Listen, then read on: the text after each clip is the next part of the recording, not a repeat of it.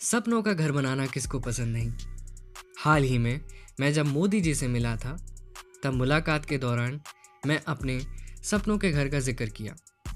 तब उन्होंने बोले कि मैं अपने घर का नक्शा अगर पैरों से बनाऊँ तो घर बनाने में वह मेरी मदद करेंगे।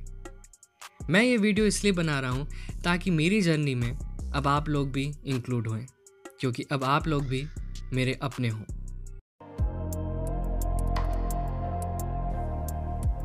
घर बनाने का सपना मेरा कई सालों से चल रहा था। लेकिन कोविड लॉकडाउन के कारण मोदी जी से मुलाकात थोड़ी लंबी खिंच गई। वो कहते हैं, इरादे हो जिनके पक्के, वो मंजिलों को पाते हैं। टकराते हैं जो तूफ़ान से, वो साहिल को पाते हैं। पसीने की एक एक बूंद से वो आशियाना अपना बनाते हैं। बस ये हौसला मैं उन लोगों तक पहुंचाना चाहता हूँ जो मेरे जैसे हैं। जिन्हें लाइफ में बहुत कुछ करना है, पर शरीर से असमर्थ हैं। पर मेरे दोस्त, मंजिल उन्हीं को मिलती है जिनके सपनों में जान होती है। पंखों से कुछ नहीं होता, हौसलों से उड़ान होती है। आशा करता हूँ ये वीडियो को भी आप उतना ही प्यार देंगे जितना आप देते आए हैं।